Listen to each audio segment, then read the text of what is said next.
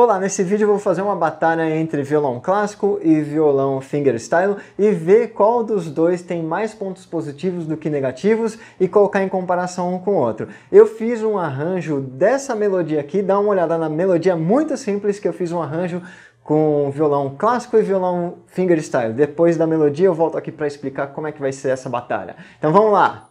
Bom,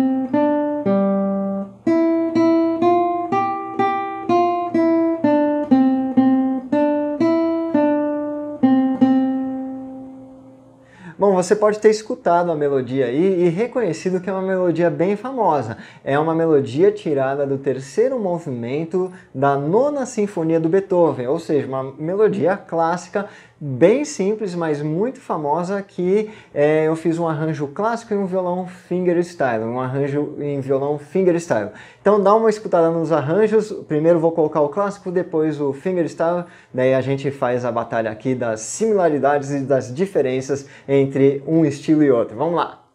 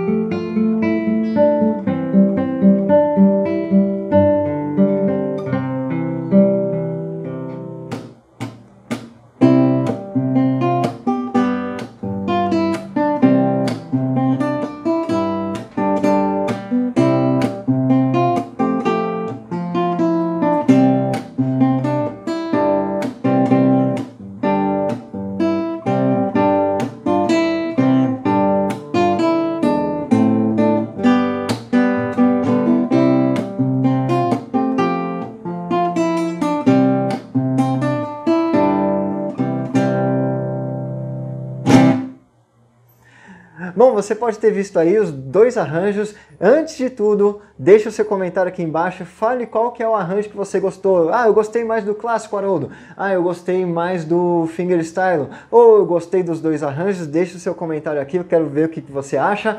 E se inscreva no canal, dê o seu joinha já, tá? E aperta o sininho para quando eu colocar mais vídeos aqui no meu canal, o YouTube te mande um e-mail. Combinado? É isso daí e obrigado para você que já é inscrito. Então vamos lá.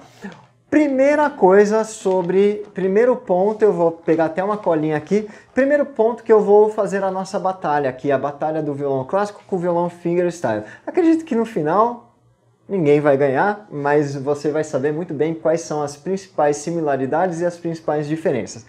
Eu vou começar pelo ponto da teoria e dos conceitos. Por quê? Porque eu, como eu dou aula aqui no meu canal, eu vou falar o que, que o, você que toca precisa estudar para começar a, a arriscar esses dois estilos, tudo bem? Então, e porque tem similaridade a rodo aqui nesse ponto. Então, quando a gente vai tocar ou violão clássico ou violão fingerstyle, a gente tem que se basear numa melodia. Então, você tem que saber como transpor melodias para o violão, tá ok? Então, nesses dois pontos, esses dois estilos, eles precisam de que você estude melodia. Então, não tem como escapar. Agora, o segundo ponto da teoria é harmonizar as melodias com as notas dos baixos da harmonia.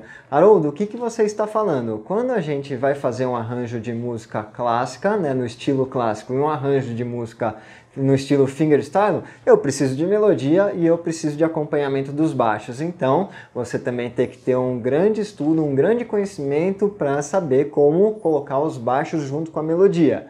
Então, também não tem como escapar sobre esse ponto. E agora o terceiro ponto teórico e técnico é o que? Você estudar harmonia para os dois estilos é praticamente o estudo é igual. Você já já sabe tocar melodias, já sabe harmonizar com baixo, agora você tem que saber como trabalhar com harmonia na região média do violão, para dar o preenchimento harmônico. Então, em questão teórico e conceitual, os dois estilos, nesse ponto, são exatamente iguais, ou seja, você tem que estudar bastante, muitos elementos para que consiga fazer isso tranquilamente e tocar tranquilamente. Combinado? Bom, agora vou falar sobre a técnica dos dois estilos. A técnica difere bastante, mas nesse primeiro quesito que eu vou falar para vocês, elas são praticamente iguais, diferentes em um ponto.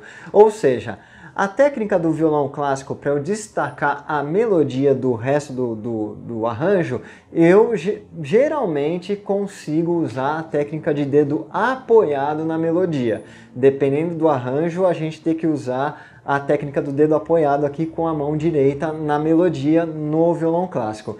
E geralmente na, nas melodias do violão fingerstyle não dá para utilizar a técnica do dedo apoiado por causa de outras razões. Uma delas é por causa do ritmo aqui do groove que geralmente é colocado na mão direita, tá bom? Daí é, fica quase impossível de se tocar o dedo apoiado. Então, você tem que destacar a melodia nos dois estilos, mas um geralmente vai preferir pela técnica do dedo apoiado e o outro não tem como, geralmente.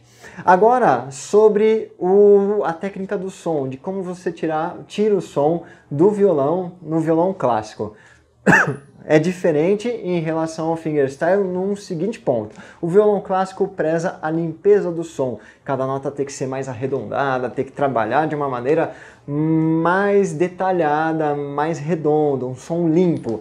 E no violão fingerstyle, não que o som tenha que ser completamente limpo, mas o tratamento do som é um pouquinho uma sujeira, uma pequena sujeira no seu som é mais bem-vinda, tá? Principalmente para aquelas partes mais ritmadas. Então, o violão clássico é mais limpo e o violão pop, né, o violão fingerstyle é um pouco mais sujo, que faz parte do estilo, não que é pior ou melhor.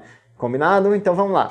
Agora, o terceiro elemento da técnica é a dinâmica. A dinâmica do violão clássico trabalha muito uma dinâmica de altos e baixos, você tocar mais forte, mais baixo. Talvez não, dê, não deu para escutar aqui direito no meu arranjo, mas ao vivo a diferença é grande, tá? Primeiro porque eu gravei com o microfonezinho aqui que não é muito adequado, mas esse ponto para quem estuda vai precisar fazer é, treinar mais altos e baixos, ou seja, mais dinâmica, força, é, tocar forte forte, fraco. E para o violão fingerstyle você não precisa treinar muito essas dinâmicas, mas se aplicar também é legal. Mas na hora da gravação, se você usar uma compressão, daí acaba perdendo um pouco essa dinâmica daí. Então, esse é o ponto da técnica, então as diferenças e similaridades. Agora vamos para o ponto do arranjo da música. O arranjo da música, você pode ter percebido no arranjo que eu fiz aí da nona sinfonia, que o arranjo é mais ligado, as notas cantam mais, elas são mais extensas. Em comparação com o arranjo do fingerstyle, eu dou preferência para o groove. O groove que é o ritmo aqui na mão direita, dá aquela, aquele ritmo aqui no violão. Então eu vou picar mais as notas, ou seja, tocar não ligado. Então as, a diferença é violão clássico um pouco mais ligado e violão fingerstyle um pouco mais ritmado. A melodia no violão clássico, agora o segundo elemento do arranjo, é mais possível, mais próximo da original da, compositor, da composição que o compositor fez. É, deu para entender. Então, assim, a, a gente tem que evitar ao máximo modificar a melodia da música. No violão fingerstyle, a gente pode modificar, mas não pode descaracterizar a melodia. Então você pode ter visto aí no início do vídeo que a melodia do fingerstyle ficou um pouco mais ritmada, mas dá para lembrar que é a música do Beethoven, tá? Então depende muito do gosto do arranjador, do estilo que tá, mas dá para modificar um pouco a melodia para que ela se encaixe dentro do groove. E agora o terceiro elemento do arranjo. O arranjo da, das músicas clássicas geralmente prezam muito a condução das vozes, ou seja, como é que na, nas mudanças de acordes as vozes elas vão caminhar. Em contraposição, no arranjo de um fingerstyle, a harmonia trabalha mais por blocos, então os blocos ficam mais fáceis de dar uma ritmada. Então essa é uma grande diferença entre os dois arranjos. E agora o, ter... o quarto e último ponto que vocês podem ter visto, que até fiz uma brincadeira aí, é sobre a apresentação. A apresentação da música clássica, você vê geralmente o pessoal mais engomado, né? O pessoal mais na estica. Ou seja, o pessoal quando vai se apresentar em violão clássico, coloca uma roupa mais formal, uma roupa social. E o pessoal do, do violão fingerstyle, geralmente o quanto mais descolado, mais legal. Então essas são duas diferenças aí bem legais, não que um estilo não possa ser, o clássico não possa ser descolado e o fingerstyle mais, é, mais formal, tá? Mas é só uma brincadeira esse ponto. Você viu até na gravação que eu coloquei o bonezinho para falar, não vou ficar trocando de roupa aqui, só usei um acessório. Então agora o segundo ponto é sobre a postura. A postura do violão clássico tem todo um anos e, e, e séculos de desenvolvimento para você trabalhar mais alongamentos, é, conseguir acertar mais notas. Então tem todo um trabalho para que você consiga acertar mais notas aqui, né? Fazer alongamentos é, não muito convencionais para acertar as notas e também uma, uma é, é estudada para evitar lesões. Então é, para quem toca na posição clássica, continue com a posição clássica, que ela é a melhor de todas para para você conseguir acertar mais as notas, ter mais força na mão e evitar lesões.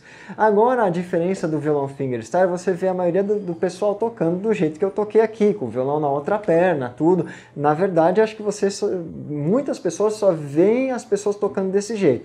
Essa, essa posição daqui, ela tem um, só um uma coisa que ajuda para tocar violão fingerstyle, quando o pessoal tem que usar a técnica do utilizando o polegar aqui para fazer os baixos. Tirando isso, você trabalha na, violão, na, na postura do violão clássico. Eu fiz aqui só para diferenciar bastante para você ver que dá para tocar dos dois jeitos, só que uma posição é melhor, na minha opinião, que é a postura clássica, tá ok?